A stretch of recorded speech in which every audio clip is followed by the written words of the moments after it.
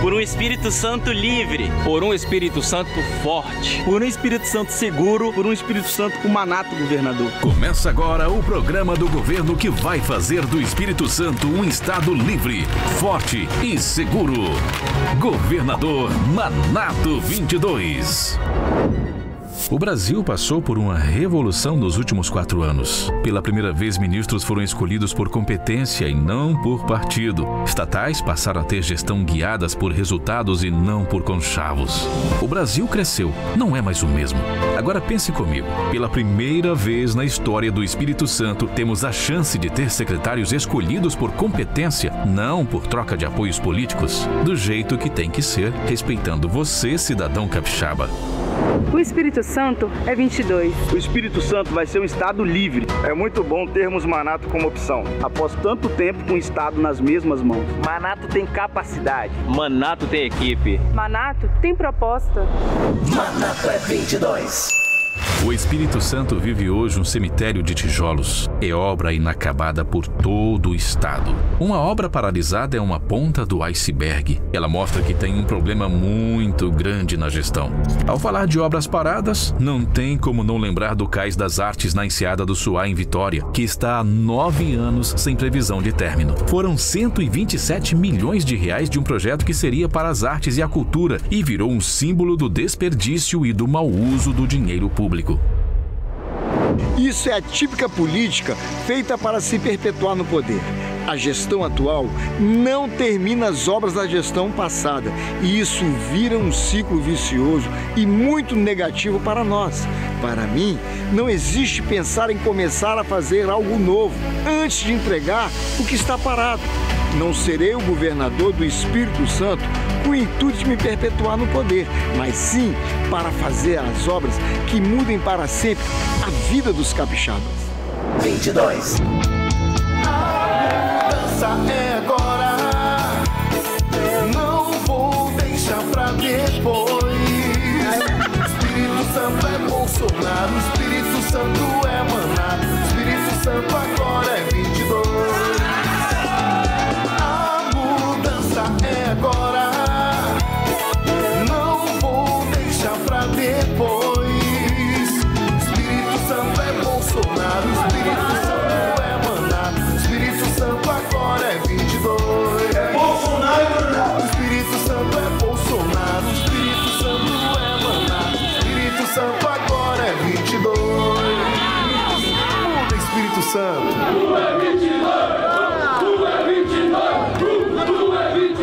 acredito, porque no dia 30 é 2-2 Bolsonaro e 2-2 Manato. Tamo junto. Manato é 22. Manato é formado em medicina, exerceu a profissão de médico, já foi professor de medicina e gestor hospitalar.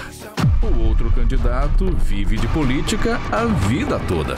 Manato foi professor na Escola de Medicina na Santa Casa de Misericórdia. O outro candidato escolheu um secretário de saúde que estudou em Cuba. Manato foi a favor da vida na pandemia, mas sem penalizar a economia. O outro candidato escolheu sacrificar o comércio. Capixabas. Estão espalhando por aí que se Manato assumir, ele vai acabar com o nosso estado. O nome disso é medo. Eles só podem estar de brincadeira, né? Eu, médico, com uma história de respeito na política, pronto para endireitar o Estado, usar o medo nas pessoas, a população não é boba. Eles estão com medo porque sabem que se Manato assumir, vai acabar com a mamata deles. Quem vota em Bolsonaro, vota em Manato 22. O Espírito Santo é 22. Eu tô com o Manato. Bolsonaro! E eu sou Manato.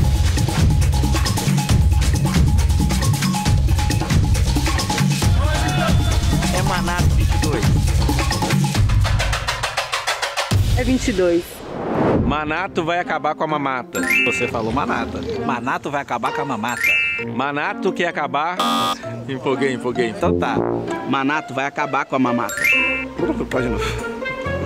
O trava-línguas é difícil, mas acabar com a mamata do grupo que está aí é fácil. Quem vota em Bolsonaro, vota em Manato 22. O candidato Manato já teve um cargo no governo Bolsonaro. Mas acredite, não durou nem cinco meses. Segundo nota enviada pelo Ministério da Casa Civil ao jornal O Globo, Manato foi demitido por não apresentar os resultados esperados. Ou seja, foi demitido por incompetência. Se Bolsonaro não aguentou Manato nem por cinco meses no seu governo, por que o povo capixaba deveria aguentá-lo por quatro anos? Manato, quem conhece, não vota. Vai começar agora o programa Casa Grande 40! Eu pessoalmente tomo conta de muitas coisas, porque a decisão política de fazer as coisas, construir, colocar um programa de pé, colocar uma obra para andar, tá certo? Tem que ter um acompanhamento direto do governador na terceira ponte, são duas faixas hoje, nós teremos mais uma faixa.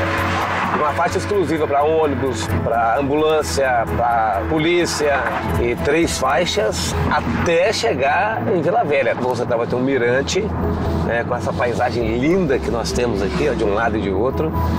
E como vocês estão vendo, a nossa ciclovia que está aqui, ó, nós estamos já quase no vão central dos dois lados. Ela foi desenvolvida para que a gente pudesse ter uma proteção contra suicídio. Então, muito bom a gente poder ter tido a coragem de começar essa obra, de fazer investimento em mobilidade e a gente poder fazer investimento em proteger a vida dos capixabas. entrando na estação de bombeamento de águas pluviais de Marilândia, de Jardim Marilândia, aqui, aqui em Vila Velha. Cada estação de bombeamento dessa, ela tem interligação entre elas. Tem essa estação de bombeamento aqui, que é de Jardim Marilândia, tem a estação de Cobilândia, debaixo da segunda ponta tem a estação do Rio Marinho. Mais a estação de Laranja, que está sendo feita também. Essas quatro estações vão sugar a água daqui de Cobilândia e da Bacia do Marinho para levar para o mar. Então, se você mora aqui, você está recebendo um investimento. Maravilha, né? Valorizou também, né? É importantíssimo. As bombas em teste aqui em Jardim Marilândia. É isso, é velocidade para a água sair, para a gente poder diminuir muito o problema de, das inundações aqui na cidade de Vila Velha. Olha a grandiosidade desta obra, o tamanho dessa obra. Aqui são seis blocos, são seis blocos, são 38 mil metros quadrados é, de área construída.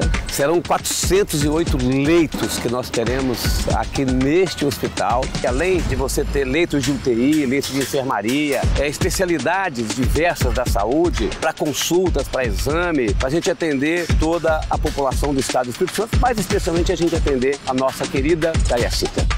O nosso governo não está fazendo só este hospital. Nós estamos agora iniciando um complexo de saúde do norte do estado do Espírito Santo, lá em São Mateus. Nós abrimos o Aquidaban, em Cachoeiro Tapimirim, diversos hospitais nossos do governo do estado, nós ampliamos.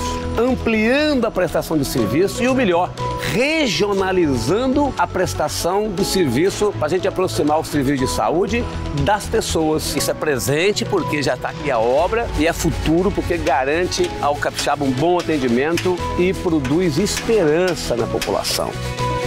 Casa Grande fez hospitais, estradas, pontes, escolas, obra grande, obra pequena e, mesmo com a pandemia, bateu recorde de investimento na história do Estado. Agora vai gerar ainda mais empregos com o programa Prospera. Vamos acelerar e, nos próximos quatro anos, fazer um volume ainda maior de investimentos. Prospera, vamos bater novos recordes também na geração de empregos. E você sabe que nós temos capacidade para isso. Eu aceitei o convite para ser o vice do Casa Grande porque acredito que juntos podemos construir um novo momento para o Espírito Santo. Um momento de crescimento, de avanços e de prosperidade. Por determinação do Casa Grande, vou coordenar pessoalmente as ações para a agricultura, uma agricultura que tem uma marca muito forte, que é a marca da agricultura de base familiar, uma agricultura empresarial, que é a mais importante atividade econômica e social para a maior parte dos nossos municípios.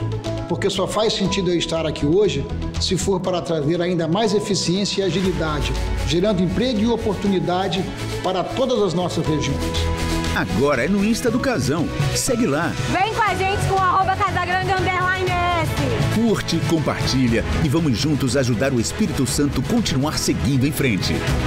Casa Grande 40. Governador de verdade.